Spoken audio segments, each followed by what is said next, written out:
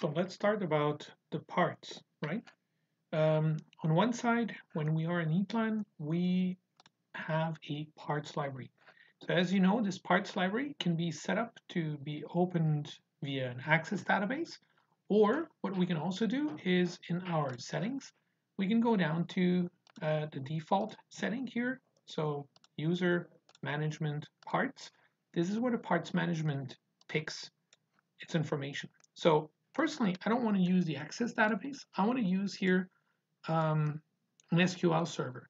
So the SQL server that I have here, I'm using one directly on my local host. Uh, I installed the server SQL Express. That's the name of my SQL server.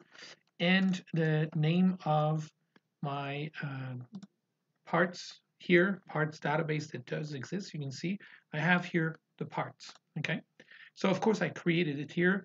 I usually allow myself to modify and allow um, modifications during selection, which enables me to edit while I'm selecting. So you can see now I have localhost express parts. Now the parts that you can see here are of course over the time loaded from either from the data portal and this brings me to another aspect we often forget.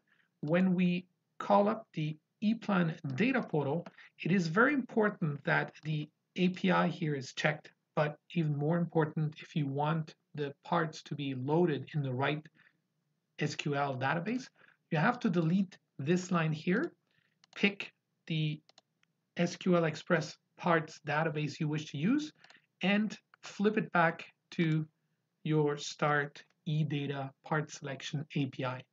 Now, never forget to set it back to default here because the default is always better to be set here. Later down the road, when we do things like insert device, it's very important.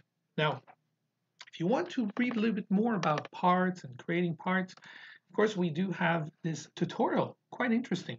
In this tutorial here, if you, we zoom down a little bit under the electrical P8, I found an interesting one that actually starts as a tutorial for beginners right up front. Interesting page that they open. And I invite everyone to actually check it out. We do have a section for pretty much everything you need to know when you start ePlan, creating a project, placing schematics, symbols, generating some auto-connecting lines between the symbols, which means wires, then assign some cable information and assign some parts, okay? Or placing actually devices, which is also dependent on the parts. So what I just explained here is the central library where everything is picked from.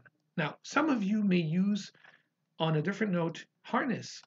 So if you do use harness, what you can do on this side here is you can point to the same database. And this is interesting because then we share the same database. Let's say that we open a library in Harness. And how do we connect to an SQL? Well, here you create a connection. The connection here is an ePlan platform master data SQL server. And this is where you have to pick the local host, same name of server, and you have to pick here the same parts database that is used on the other side, right? So if you're using the Windows authentication, don't forget this. Just hit the finish button and then you get exactly this. And when you open this, the interesting thing is we are enhancing the parts that are actually on the ePlan side with data that is um, related to, uh, let's say, harness. And you don't necessarily have to use and run the synchronizing here because we are using the same database. We synchronize live whenever you part, add a part here, it appears on this side and vice versa.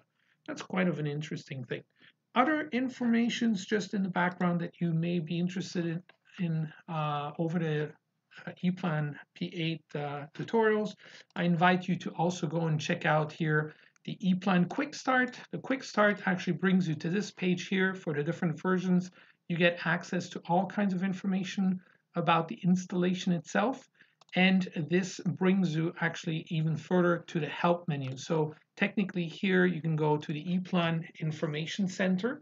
And on this Information Center, which appears in many different languages, you just set the language you wish up at the top right hand side. You will find here information about the installation itself, about the licensing, very interesting, very important. You find again these beginner tutorials. And if you need more information or help, you can click here on the different items that are available within the ePlan platform. Some of them, of course, related to whatever you purchased on your site. Some of them you always have access to. So thank you. This was Roland from ePlan.